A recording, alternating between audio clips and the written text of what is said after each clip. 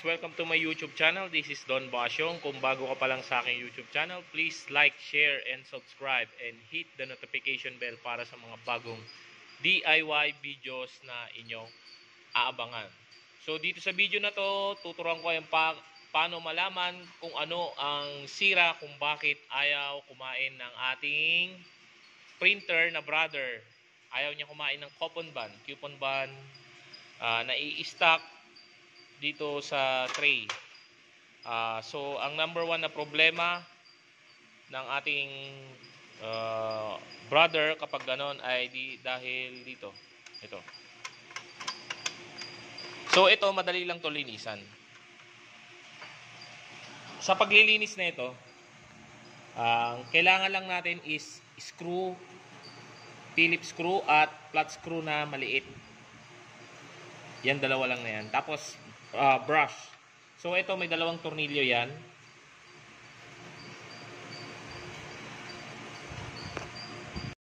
So may dalawang tornilyo to guys. Isa sa kanan, isa sa kaliwa. Ito. So yun lang tatanggalin natin yan.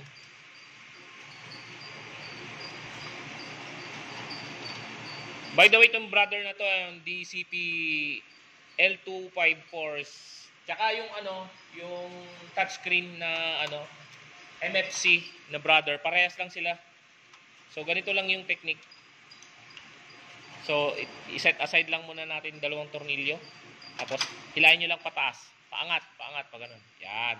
Tapos, push nyo lang muna. Tapos dito, yan, makikita natin ito. So, ito, paano matatanggal? Uh, makikita nyo, mayroong butas dito sa kabila. Sa kabila, uh, wala. So, dito, itutulak lang natin yon yun.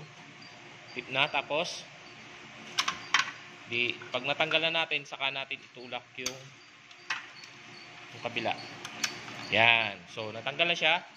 Tingnan nyo kung gaano karaming uh, hibla ng coupon band ang nandito sa ating tsaka ink. So ito para para matanggal clip mo lang siya. Yan. So yan ito yung sinasabi ko. Yan yung mga hibla na pumipigil para makuha ng ating pick-up rubber yung coupon band. So ito, madali lang to tanggalin. Push mo lang yung pababa. Itong isa kasi, medyo bitin, no? Pag doon mo ipupush. So dito ka magpupush. Uh, hirap mo sa kanang party itong merong nakaharap na ito. Yan, yung nakalagay dyan. Iharap mo rito para hindi ka malito. So, yun, push mo. Tapos sabay clip mo pataas.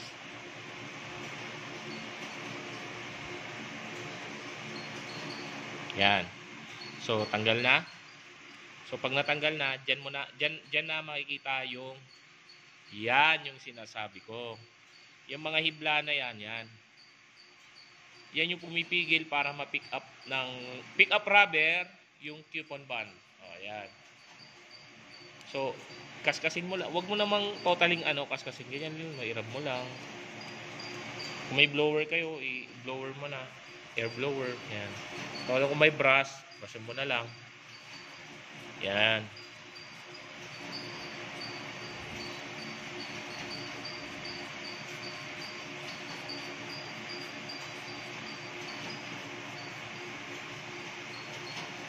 So ingatan nyo mawala itong ano ah, dalawang spring na yan. Yan maliit na yan. Kasi yan yung nagtutulak pataas pababa.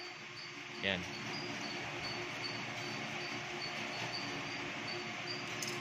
Tapos ito, rin yung spring na to, yun yung tumutulak sa forward doon sa ano. Kaya ingatan nyo na wag mawawala yung mga yan. O tapos nakikita nyo. Yan. Tingnan nyo kung gaano kadumi. Yan yung pumipigil doon. Yung mga hibla na yan. So, may inis ka lang kasi lagay ka ng lagay yung coupon ban, ayaw, ayaw niyang mag-pick up. Yan yung gawa nun. So, ganyan. Tapos linisan, uh, ibabalik na natin. So, itong rubber, itong rubber, ay rubber, itong spring, should I say, itong spring, yan ipayu nyo lang yan, U. Yan. Tapos, Etong, etong, etong ating roller, may kita nyo meron siyang, ano, yung, ah tinatawag na gatla-gatla. One, two. Dalawa yung gatla niya eh. So, ipapasok mo lang doon. Tapos, hanapin mo yung gatla niya. Yun. So, pasok na siya. And then, ah may mark may mark siya. Ayan, mayroon siyang uwang. So, doon sa ating plastic meron din makikita ayan oh.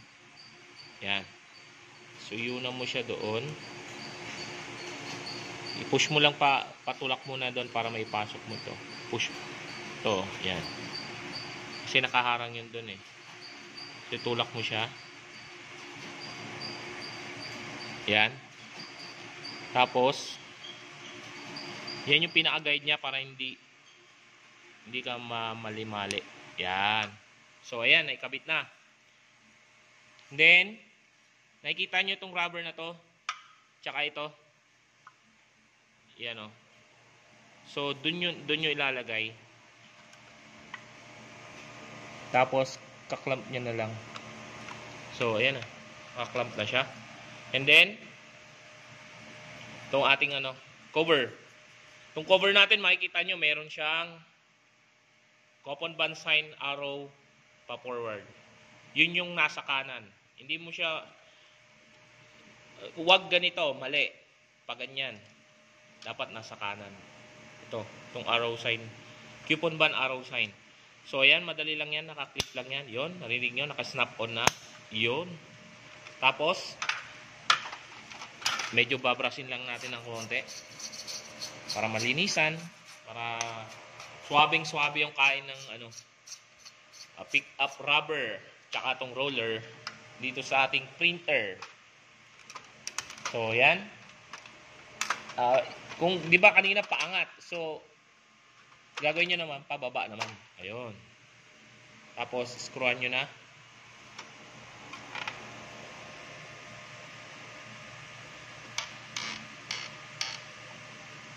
Next, kabila.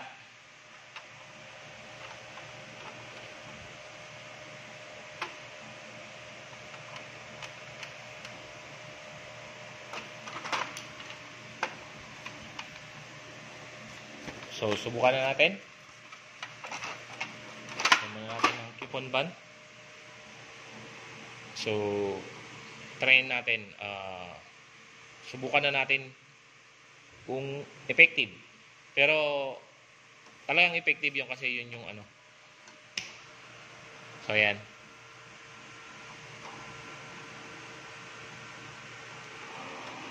One way DIY cleaning ng pick up rubber. Uh, pupunasan mo lang ng ano yan, alcohol. Yung roller dito sa ano, para mag-print. Ayan, titignan na natin kung okay na. So, ayan. Mga guys, okay na siya. So, nagpipick up na siya ulit. Oh, napakaganda ng printing. So, yun lang muna guys. Kung bago ka lang sa aking YouTube channel, please like, share, and subscribe and hit the notification bell para sa mga bagong DIY videos na inyong aabangan. This is Don Basyong. Maraming maraming salamat po sa panonood sa aking YouTube channel. God bless po palagi.